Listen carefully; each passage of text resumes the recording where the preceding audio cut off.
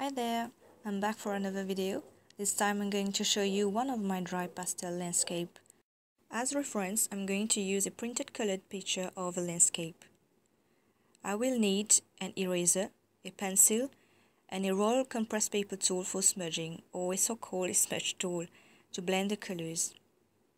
For this work, I will use Pastel Pencil 24 by Derwent.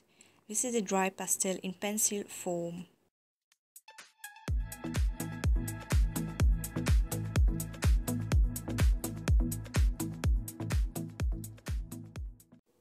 I will take the model photo and place it in the center of my paper, then trace it out with the pencil.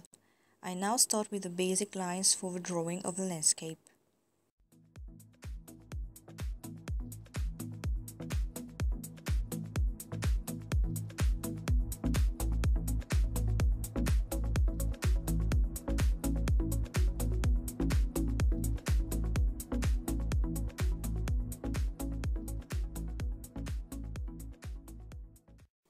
First section of the sky, I'm going to use these colors.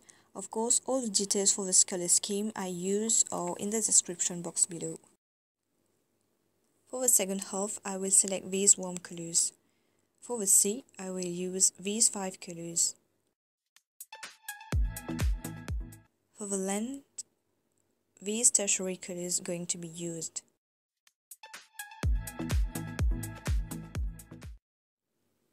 For example, P130 is a cadmium red color. Once the materials are ready, you can start. I now work from top to bottom with basic blue color.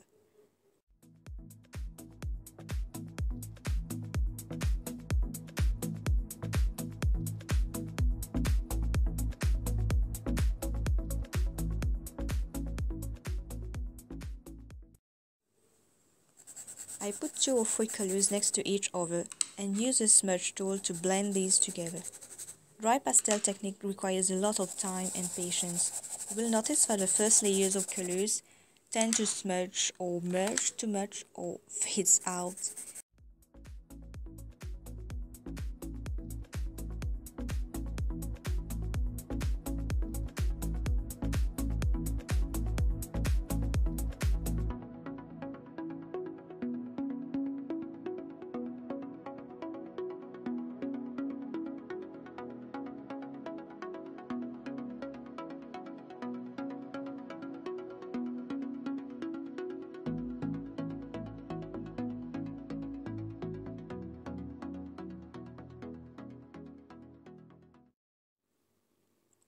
At some point, you will need uh, to use a simple and cheap hairspray to block the colors on paper before applying the next layers.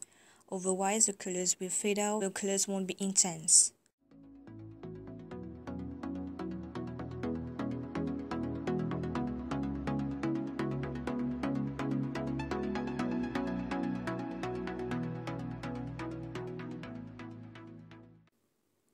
For the sunset effect, I start with a bright yellow, then add some overshades of warm colors and blend base.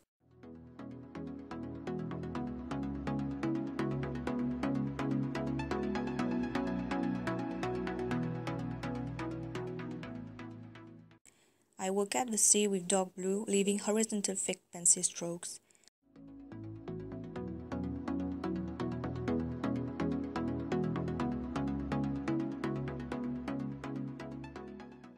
The lighthouse has already been done.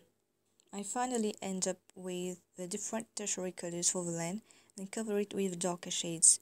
Before framing, remember to fix everything in place.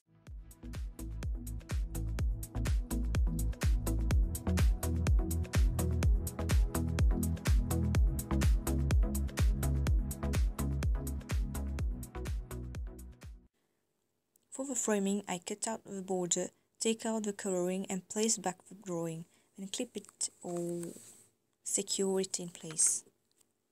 Well guys, hope you like my video. Please remember to give a good thumbs up for some encouragement and subscribe to my channel. All details about the materials and colors used are in the description box below. So see you soon guys and thanks for watching.